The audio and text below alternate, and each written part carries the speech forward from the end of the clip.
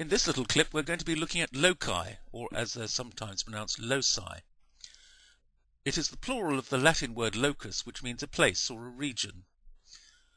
And the word in maths is used to describe points or areas of maps and diagrams which follow certain rules. Much the easiest way is to look at some examples.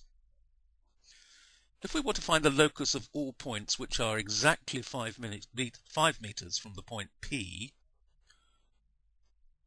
well, there's one point here, which is 5 meters from P, but it's certainly not all of them.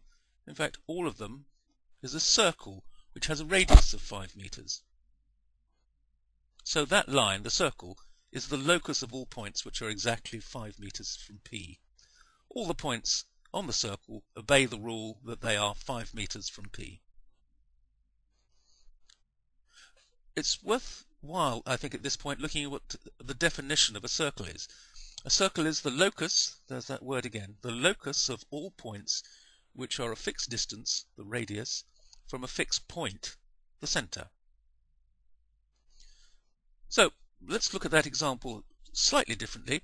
What's the locus of all points which are less than 5, minute, 5 meters from point P? Well, that's easy. We just fill in the circle and that whole green region is less than 5 meters from point P and so that is the locus of all the points which are less than 5 meters from P. The third example. This is more complicated. The locus of all points which are within 2 meters of the line AB.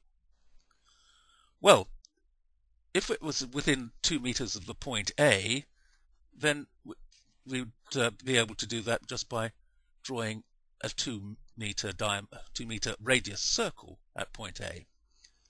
And we do the same thing at point B. But what about the rest of the line AB? Well, if we join up the tops of the circles and the bottoms of the circles, then we have the region that we want, or the locus that we want. Because now the entire green region, uh, every point in that region is within two meters of the line. At the ends it's a half circle or a semicircle, but along the line it's just two parallel straight lines. Everywhere in the green region is exactly, well, sorry, is within 2 meters of the line AB. By the way, when you're doing things like this, don't rub out the construction lines. Don't rub out these circles or any other lines you've drawn to, to help you with your uh, drawing. Um, the examiner would want to see that in an exam. Here's another one the locus of all points inside the rectangle which are closer to A here than they are to C here. Well, you should know the technique called drawing a perpendicular bisector because that gives you a line which is exactly the same distance from two points. So let's draw a perpendicular bisector of the points A and C. First of all we draw a large arc at A and then without changing the opening on the compass, draw a similar one from C, uh, such that it over the two uh, arcs overlap in two places. Now when we join the two overlapping points, uh, we'll have what we call our perpendicular bisector, and everywhere along that great, that straight grey line is the same distance from C as it is from A. So if we want the points which are closer to A than C, we have to shade that region. It's inside the rectangle and every point in the green region is closer to A than to C. Once again, don't rub out the construction lines. Now,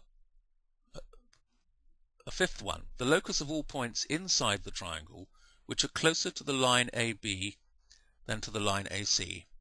Now to get uh, regions which are closer to the line AB than to the line AC, we have to think about where the halfway point is. What What's the locus of points which is exactly the same distance from AB and AC? And that's what we call an angle bisector.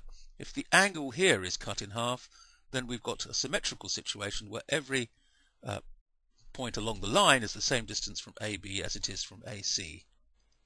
So we have to draw an angle bisector, and this is a technique you should know as well.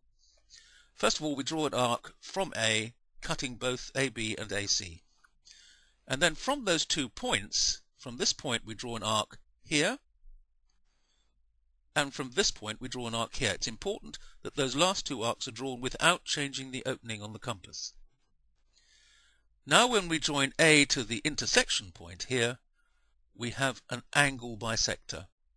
Those two angles are the same, and every point on this grey line is the same distance from the line AB as it is from AC. But that's not quite the question. We want the, the points which are closer to the line AB than to the line AC, so once again we have to shade a particular region. It says that we want the points inside the triangle which are closer to the line AB, and that's this green region.